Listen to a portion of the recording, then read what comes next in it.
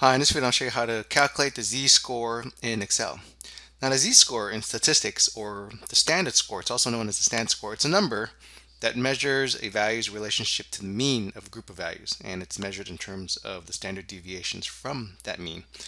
So if we just kind of made up some numbers here, let's say we had some scores here and I'm going to randomize, randomize some numbers maybe between 84 and I don't know 114 and I bring it down here. Let's make a couple numbers here. And let's make sure they don't change. Control C to copy and then just paste his values. And I want to find my z-score.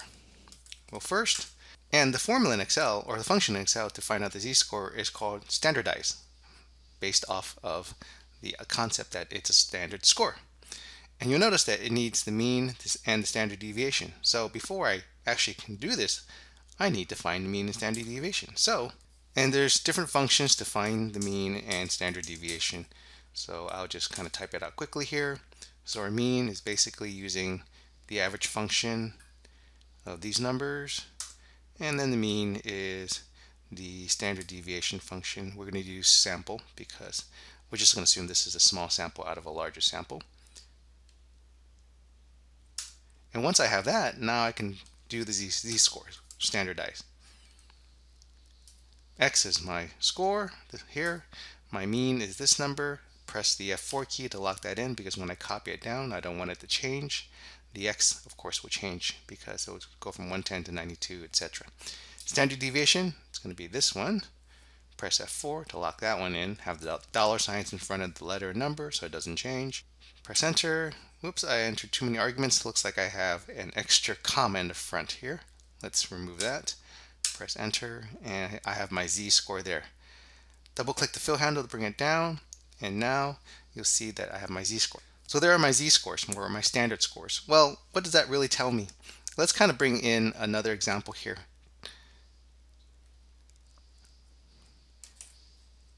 So what I have here is a normal distribution curve, um, standard bell curve, right? And let's say we have a mean of 100 and a standard deviation of 20. So what we're saying here is with our mean of 100, we have our mean of 100 and our standard deviation. The first, the first standard deviation will fall between uh, 80 and 120. So the mean uh, minus 20 and the mean plus 20, right? So we have 80 and 120. So that's the first standard deviation. And a further standard deviation may be another 20, right? 100 minus 40 plus 100 plus 40 Data that is two standard deviations from the mean would be at 60, that's 100 minus 40, and 140, 100 plus 40. Three standard deviations, you're going to, it's going to be another 20, so that's going to be 100 minus 60, which would give us 40, and 100 plus 60, which would give us 160. So that's basically what it's doing. Now our z-score is just giving us the detail of exactly where it lies. So let's say, for example, we had our mean here of 100 and standard deviation 20. Of course, we do our standard deviation, our standardized function again, and our x is this value, our mean is 100, and our standard deviation is 20. Close parentheses, press enter.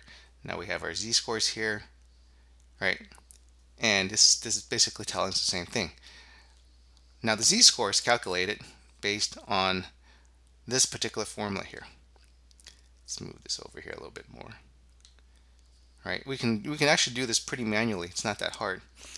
So what we're saying is if we do x minus the mean, this x bar is the mean, so we're saying equals this minus the mean of 100. That's 1.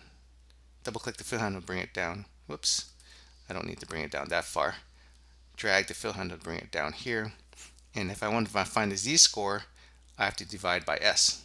So we'll do this z-score again.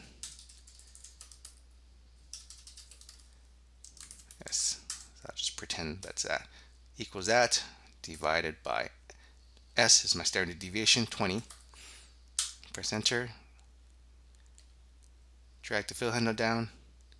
And now you notice it has the same output as the function there. So that's what it's saying. It's saying like this value, 101, has a z-score of 0.05, so it's not too far from the mean. It's probably somewhere over here. Let's give this a value of 120, right? One standard deviation from the mean. And if, if I give it that, this is going to be a 1. The z-score is going to be a 1, right? Because it's exactly one standard deviation from the mean.